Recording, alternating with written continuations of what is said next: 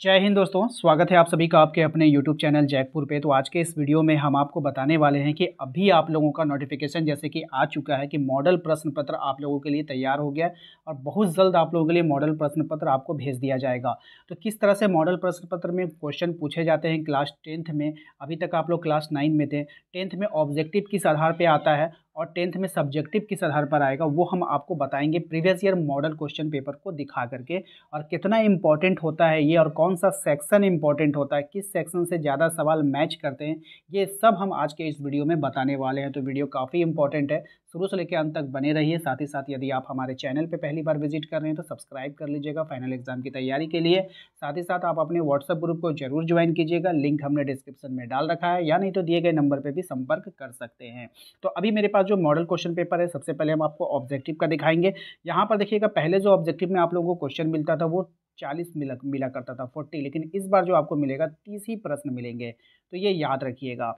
पहली बार जब 40 मिला करता तो कम से कम जो है आपका 10 क्वेश्चन मॉडल पेपर से मैच कर जाता था हु बहु लेकिन इस बार जो संख्या कर दिया गया है, वो 30 कर दिया गया है तो यहाँ पर ये याद रखने वाली संभावनाएँ हैं कि हर एक मॉडल क्वेश्चन पेपर से, अगर आपका दो सेट देगा या फिर तीन सेट देगा, वैसे पाँच सेट देना चाहिए, पहले पाँच सेट आता था, इसके बाद लगातार जो है सेट की संख्या कम कर दी गई। अब सेट की जब संख्या कम कर दी गई है तो आप क्वेश्चन भी तीस हो चुका है। अब यहाँ से क्वेश्चन हर एक सेट से पूछने की संभावना पाँच हो चुकी है। यानी कि अब दो सेट आएगा तो दस सवाल देखने को मिलेगा, तीन सेट आएगा तो पंद्रह सवाल देखने को मिलेगा। अगर पाँच सेट आ जाए तो फिर आप लोगों का लगभग पच्चीस सवाल आप लोगों का मॉडल क्वेश्चन पेपर से ही देखने को मिल जाएगा।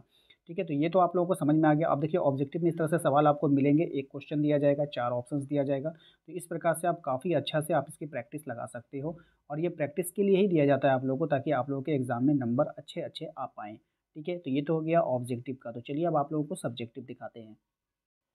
सब्जेक्टिव प्रश्न की बात करें तो सब्जेक्टिव में होता क्या था? पहले आप लोगों को 40 नंबर का मिलता था, लेकिन अब सब्जेक्टिव आप लोगों को 50 नंबर का मिलेगा। क्योंकि 30 नंबर उधर से 10 नंबर घटा करके इसमें 10 नंबर आप लोगों को इंक्लूड कर दिया गया है। अब यहाँ पर भी आपको सेक्शन वाइज क्वेश्चन देखने को मिलेगा, जैसे सेक्शन वन सेक्शन वन में आप जैसे क्वेश्चन देखोगे तो यहाँ पर आपको जैसे बोलेगा कि दो नंबर वाले सवाल जो है आपको पाँच गो हल करने लेकिन सवाल आपको यहाँ पर सात दिया रहेगा।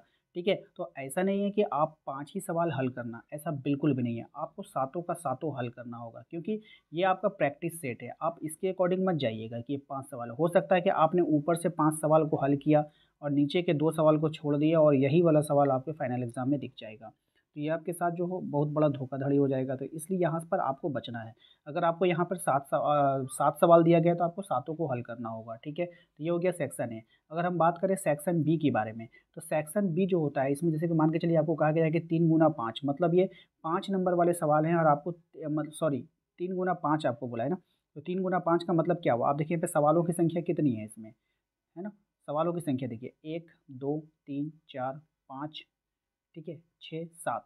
इसमें भी आपको जो है सात सवाल दिए गए हैं, लेकिन इसमें से आंसर आपको करना है पाँच का। तो तीन तीन नंबर का पाँच सवाल को आपको आंसर करना है, ठीक है? लेकिन ऐसा इसमें बिल्कुल भी नहीं है कि आपको सिर्फ़ पाँच ही सवाल को कंप्लीट करना है। आप क्या करोगे? आप इसको कम से कम सात का सातों सवालों को हल करना है, ठीक है? हर एक चीज़ का हम बता रहे हैं। आपको एग्ज़ाम्पल दिए हैं साइंस के मॉडल सेट से, लेकिन आप लोगों को हर एक मॉडल सेट के लिए यही नियम लागू करेगा। अब आते हैं, बात करते हैं हम लोग सेक्शन सी के बारे में। सेक्शन सी में आपको क्या बोल रहा है कि एक सवाल पाँच नंबर का है, लेकिन आपको तीन सवालों को उत्तर देना है। लेकिन अगर आप इसको ध्यान से देखोगे तो एक, दो, तीन, चार, पाँच। टोटल सेक्शन सी में आपको पाँच सवाल दिखेंगे, लेकिन बोला है यहाँ पे तीन सवाल का आंसर करना। लेकिन आपको पाँचों का पाँचों हल करना होगा, पाँचों का पाँचों तैयारी करनी होगी।